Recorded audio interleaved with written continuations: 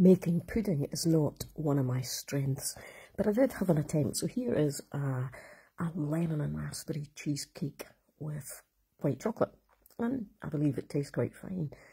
I'm married to somebody who loves puddings, and it doesn't show in the least. It is so unfair.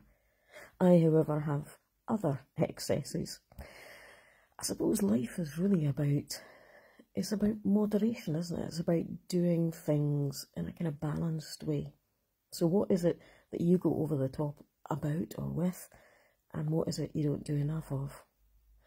Let's see if just for this day you can get things in balance, and I'll see if I can do the same. You up for it? Go on.